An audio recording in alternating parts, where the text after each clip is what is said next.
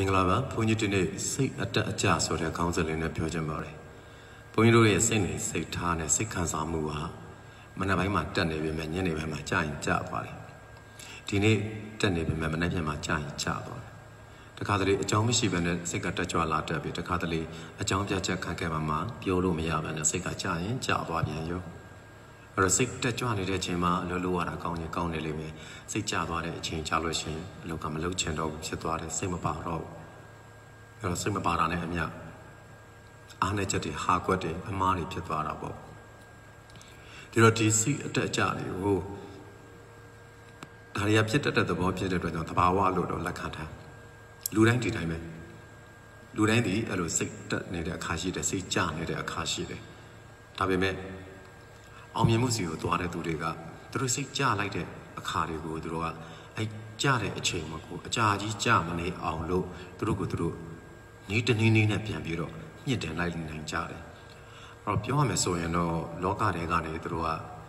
ဒီပေါ့အကောင်ကွက်တွေကိုလိုက်ပြီးတော့မြင့်တက်တဲ့သူမျိုးပေါ့အကောင်ကွက်ဖြစ်နိုင်ခြေတွေကိုစဉ်းစားတတ်တဲ့သူမျိုးကြာကြာစိတ်မကြအောင်ကြာကြာစိတ်မကြအောင်ချက်ချင်းပြန်ထားလို့ရတယ် အစိတ်အတက်ကြတအားမြန်လာကြတော့လည်းမကောင်းတော့ကြတက်တော့ကြကြအဲ့တော့ပုံမှန်လေးသွားလို့ရအောင်ဆိုတော့ဘုန်းကြီးဒီဒီစကားပဲပြန်ပြောရမှာပဲတရားအလုပ်ကိုလုပ်တော့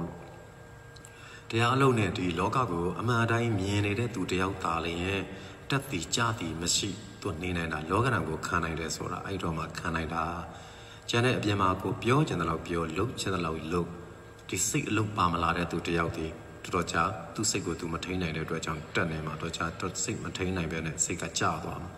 ဒီလိုကြီးပဲသွားနေမှာပဲတော့ကြောင့်ဝမ်းသားလိုက်တော့ကြောင့်ဝမ်းနေလိုက်နဲ့သူကြည်ရတာခဏမငြိမ်ဘူးအဲ့ခဏမငြိမ်တဲ့ဘဝတွေနဲ့ပဲသေတဲ့ထီထီတိုင်းသွားရလိမ့်မယ်ဒီလိုဆိုတဲ့အခါကျတော့ဒီဟာဒီစိတ်အတက်အကျသည်ဘဝတစ်ခုပဲဒီဘဝတစ်ခုမှာဟန်ချက်ညီညီဆက်ပြီးတော့သွားလို့ရအောင်ဘာလို့တင်လဲဆိုတာတော့ဒီစိတ်အလုပ် တရားအလုပ်ပဲအလကားနေတရားထိုင်ခိုင်းနေရတဲ့အလုပ်ကိုတော့ဘုန်းကြီး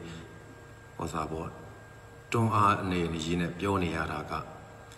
ဘာကြောင့်လဲဆိုတော့ဘုန်းကြီးတို့တွေလောကဓာတ်အများကြီးကိုကြော်ဖြတ်လာတာဒီနေ့အထိမမမမရက်တည်နေနိုင်ဖို့ဆိုတာဒီတရားအလုံးနဲ့ရက်တည်ခဲ့ရတာတရားအလုံးနဲ့ကိုယ်စိတ်ကိုအခုဒီနေ့အထိပဲကိုယ်စိတ်တက်နေသလားကြာနေသလားကြာနေရင်လဲဟာဒါဘဝပဲ ကိုကိုကိုအားပေးလိုက်တာဒါဒီဘဝပဲဘဝရှိရင်ဒါဒီလုတ်ကိုလုံနေရမယ်အလုံး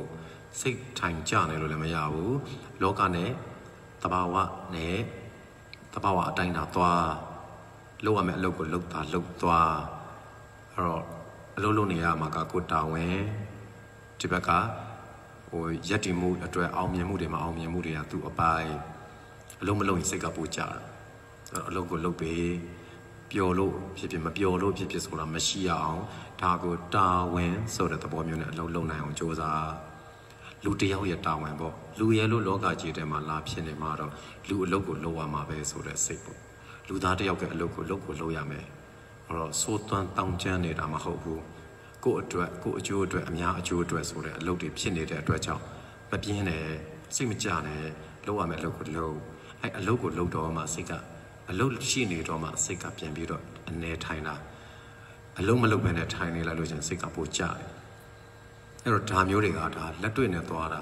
ဒီဘက်ကကြတော့အဲ့စိတ်ခွန်အားတူနာတရားတွေကနေပြီးတော့တရားအမှန်တိုင်းမြင်ထားပြီလေလောကကိုမြင်နေရတဲ့အရာတွေကိုကိုယ်နာကတ်လာတဲ့အရာတွေကိုကိုယ်ခွာသွားတဲ့အရာတွေကိုသူတို့ရဲ့ဆန္ဒတွေကိုယ့်ရဲ့ဆန္ဒတွေဒါတွေကိုနားလည်တာဒီသဘောတွေကိုနားလည်လာတဲ့အခါကျတော့ ဘယ်လိုနေရမယ်ဆိုတာသိသွားပြီဘာမှမဟုတ်ဘူးဘာမှလည်းရင်ခုန်မနေနဲ့ဘာမှလည်းတွေ့တာမနေနဲ့လုပ်ရမယ့်အလုပ်ကိုသာပုံမှန်လုပ်သွားဒီဘက်ကစိတ်ကစိတ်ကလည်းတည်ကြည်စွာနဲ့သွားအနေထိုင်တဲ့စိတ်နဲ့ဖြစ်အောင်ကြိုးစားအနေထိုင်တဲ့စိတ်ဖြစ်လာပြီးမတုံလှုပ်တဲ့စိတ်ဖြစ်လာပြီးဆိုတာပြည့်စုံသွားပြီဘဝရှိတဲ့အတွက်ကြောင့်မလို့အလုပ်ကတော့လုပ်နေရမယ်စိတ်ကိုတော့ဒီတရားအလုပ်နဲ့ထိန်ရမယ်အဲ့ဒါဆိုလို့ရှိရင်ဟန်ချက်ညီတဲ့ဘဝကိုရသွားလိမ့်မယ် ကဘာသူကဘာသားပေါင်းစိတ်အတက်အကျဆိုတဲ့အရာတွေကိုတရားအလုပ်ဖြင့်အောင်မြင်ကြော်ဖြတ်နိုင်ပါစေလို့ဆုတောင်းပေးပါတယ်ကျမ်းမာချမ်းသာကြပါစေ။